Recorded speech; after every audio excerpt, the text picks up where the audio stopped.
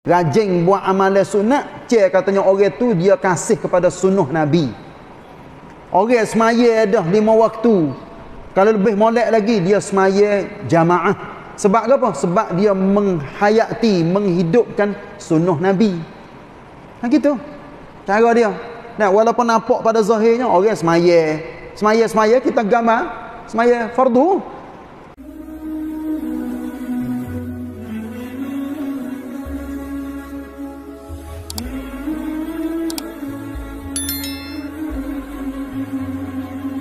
أعوذ بالله من الشيطان الرجيم. بسم الله الرحمن الرحيم. ألف لام ميم. تلك آيات الكتاب الحكيم. هدى ورحمة للمحسنين. الذين يقيمون الصلاة ويؤتون الزكاة وهم بالآخرة هم يوقنون. أولئك على هدى من ربهم وأولئك هم المفلحون. آيات 1 sampai ayat 5 surah Luqman. Alhamdulillah masuk dalam surah yang ke-31 dalam tertib Al-Quranul Karim 114 surah. Surah ini diturunkan di Mekah adanya 34 ayat. Bismillahirrahmanirrahim dengan nama Allah yang Maha Pemurah lagi Maha Mengasihani. Alif Lam Mim. Tidak ada maksud dalam penjelas penjelas sama ada dalam hadis-hadis Nabi dan ulama-ulama yang mu'tabarin tidak pernah tafsir huruf muqatta'ah yang ada di dalam Quran sama ada satu huruf, dua huruf, tiga huruf dan lebih daripada ni huruf. Tidak ada ulama yang tafsir dan hurai huruf yang pasang mari pada awal surah. Lepas tu huruf-huruf pasal ni dia duduk di awal surah saja. Dia tak ada di tengah-tengah surah. Ni nak menunjukkan bahawa mukjizat Al-Quranul Karim yang Allah Taala firman pada awal surah menunjukkan bahawa itu adalah perkara penting. Lepas tu sahabat Nabi pun dengan beradab tak biasa tanya Nabi, Nabi-Nabi. Uh, nun tu makna gapo Nabi? Hamim makna gapo? Ha ni kalau kena kita zaman lah ni apa kat tanya? Tanya riuh maknanya. Nak tahu katanya makna gapo yang ada di dalam Quran hak mula dengan surah. Mula surah tu dengan huruf ni mula surah tu dengan huruf tu. Ada kita tapi kita tangkau sangkit apa boleh sahabat nabi ya tak tanya? Ha ni wasa pelak ni padahal Bukan arti katanya kita zaman learning songsai. Sahabat Nabi dulu ya tak tak songsai ataupun tak tak berasa pelik ke. Tak berasa nak tanya ke. Tapi apa pok-pok dia tak tanya. Ha ni kalau dia kita baca dalam kitab-kitab cuba kita tang kamtam katanya apa boleh boleh boleh apa sahabat dia tak tanya lagi tu saya bila-bila saya duk baca baca apa baca kitab ada. Saya tulis kat ni.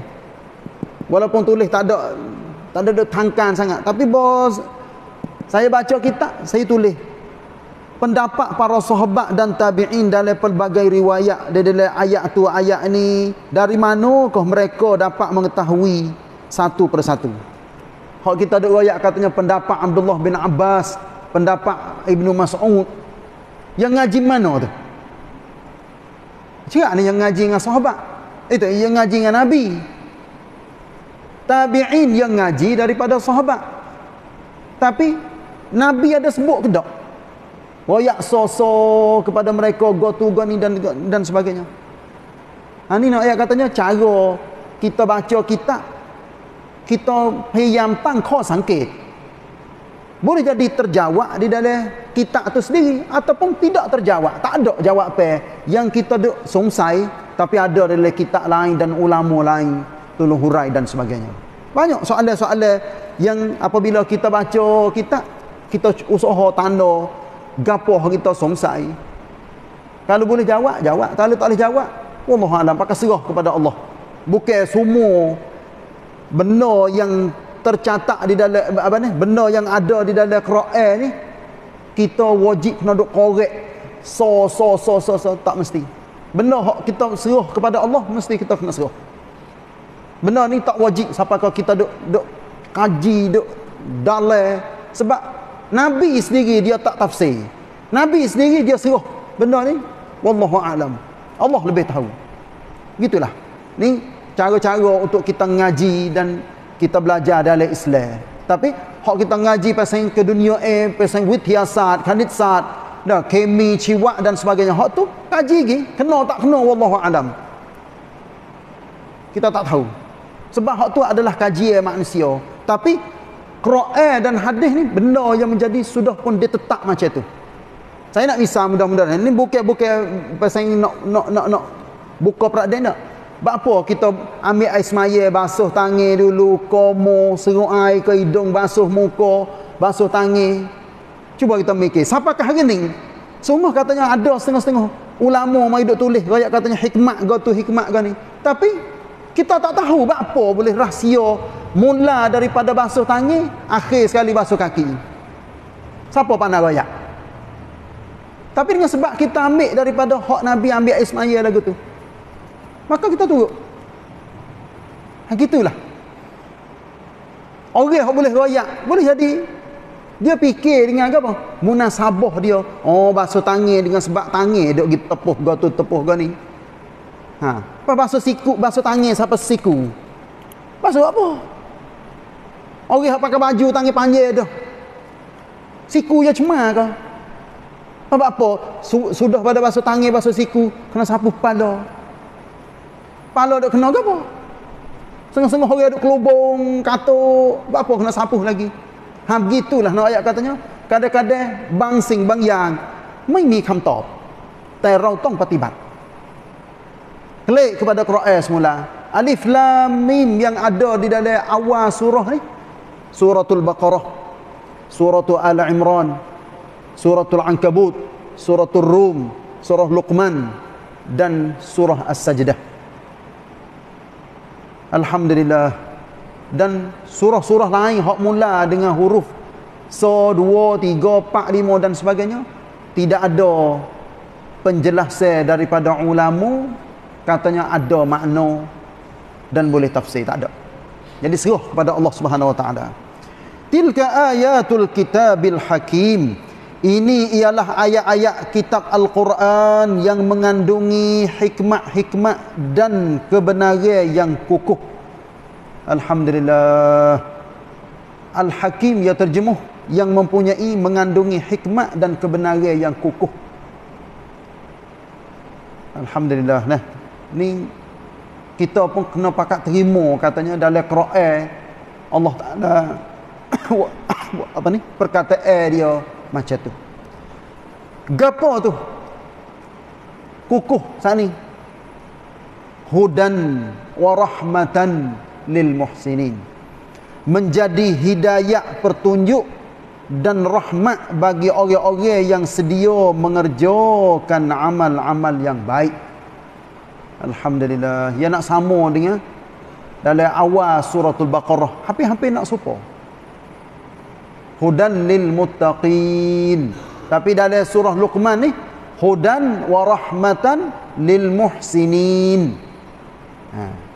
Nah siapa tu al muhsinin ha ya ya patik pata ya panggil Quran mengandungi hikmat dan kebenaran yang kukuh sebagai apa tu sebagai petunjuk dan rahmat bagi orang-orang yang sentiasa mengerja kebaikan. Siapa tu? Allazina yuqimuna as-salah. Orang yang iaitu orang-orang yang mendirikan sembahyang.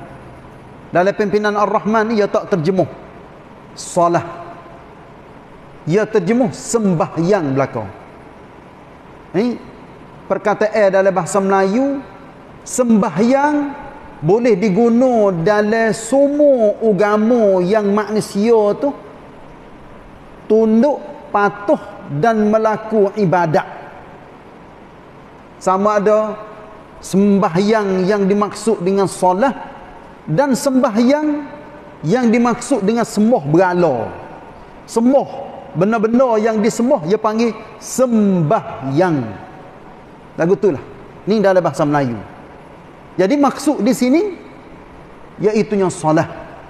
Supaya dengan supaya juga dengan perkataan Tuhan. Tuhan ni boleh digunakan dalam setiap bahasa. Bukan bukan. Setiap agama bukan setiap bahasa dah. Tuhan boleh digunakan pada setiap agama. Yang dikosak, yang diniat orang di dalam agama tu supaya kita katanya Tuhan, Tuhan di dalam agama kita kita maksudkan Allah. Tapi lebih baik kita sebutnya Allah lebih daripada kita sebut Tuhan. Sebab orang Hindu, orang Pram, six, nah, put, dia sebut perkataan Pracau ataupun God ataupun Lord dalam bahasa orang putih. Ataupun Tuhan. Tuhan ataupun ikutlah sebagainya. Itu adalah maksud Tuhan yang dipegang yang dianuti di dalam agama mereka. Gitulah. Lebih baiknya kita sebut Allah. Totok pasang cok cong lalu. Allah maknanya tidak ada dah Tuhan yang dimaksudkan selain daripada Allah. Gitulah nah iaitu orang-orang yang mendirikan sembahyang. Dalam tafsir katanya sama ada semaya tu fardu dan semaya sunat-sunat yang dikatakan sebagai tamuhai daripada semaya fardu. Sunat rawatib qiyamul lail ha, sunat duha dan sebagainya. Banyak dah solat sunat ni dalam kehidupan kita seharian dan boleh kita dan sepatutnya kita buatlah kalau tak buat anak hari pun maknanya kita we rajin buat amalan sunat nah orang-orang yang rajin buat amalan sunat cek katanya orang tu dia kasih kepada sunnah nabi orang semaya dah lima waktu kalau lebih molek lagi dia semaya jamaah sebab apa? Sebab dia menghayati, menghidupkan sunnah Nabi. Nah gitu. Cara dia. Nah, walaupun nampak pada zahirnya orang semaya, semaya-semaya kita gambar semaya fardu dan memberi zakat. Zakat di sini dalam arti katanya hitungi harta benda kita dalam masa setahun. Kita nak ambil Rentun di bulan mana tu hak tu duduk di kita sendiri. Sama ada zakat nego, zakat fitrah. Zakat fitrah ni baliknya kita bayar berah ataupun makan ne yang dimakan oleh orang ramai di tempat negeri tu. Tu dia panggil zakat fitrah, zakat diri dia panggil. Yang mesti tiap-tiap orang ada kekuasaan makan ne dan harta benda dia lebih daripada dia makan sehari. Maka dia kena keluar zakat fitrah setahun sekali bermula daripada awal bulan Ramadan sampai sebelum tu ime semaya hari raya pada pagi hari raya Aidilfitri. Tapi zakat-zakat lain yang kita ada raidai sama ada duit gaji, rumah sewa, gapo-gapo hak kita nego, mak duit ada masuk tubik, buah-buah dan sebagainya, semua tu kena keluar zakat. Ha, sebab tu kita di zaman-zaman ni dah bila kita tengok buah-buah banyak dengan wah derianya, wah moktelnya, gotu gani kata. Orang hak pasal boleh hasil daripada buah-buah dia hak dia jual siap, dia kena kira zakat. Ha. Jangan duk royak ke poket duit dia.